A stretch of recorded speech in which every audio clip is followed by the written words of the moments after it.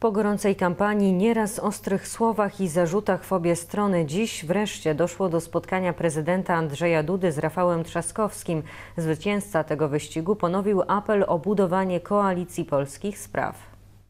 Zaproszenie pod adresem Rafała Trzaskowskiego Andrzej Duda wysłał już wieczór wyborczy, zaraz po ogłoszeniu pierwszych sondażowych wyników drugiej tury głosowania. Chciałem, żeby tamto spotkanie, niezależnie od tego, kto te wybory wygrał, e, miało taki charakter pewnego symbolu i żeby stało się polską tradycją na przyszłość, tradycją wyborów prezydenckich. Rafał Trzaskowski najpierw chciał czekać na oficjalne wyniki wyborów podane przez Państwową Komisję Wyborczą.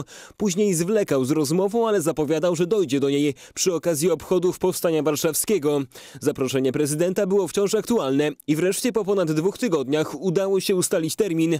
Dziś kandydat Koalicji Obywatelskiej pojawił się w Pałacu Prezydenckim. No ja wyraziłem swoje stanowisko, że te wybory nie były równe w związku przede wszystkim z e, tak jasnym zaangażowaniem e, telewizji e, publicznej w jedną stronę związanym z manipulacjami. Inne zdanie na ten temat ma oczywiście prezydent, zresztą mówił o tym już przed wyborami. Dzisiaj Andrzej Duda i Rafał Trzaskowski mieli okazję porozmawiać w cztery oczy i obaj po spotkaniu mówili o potrzebie zasypywania politycznych podziałów. Prezydent ponowił apel jeszcze z kampanii wyborczej, by działać wspólnie tam, gdzie jest to możliwe. Stwórzmy w tych najważniejszych polskich sprawach taką swoistą właśnie koalicję polskich spraw.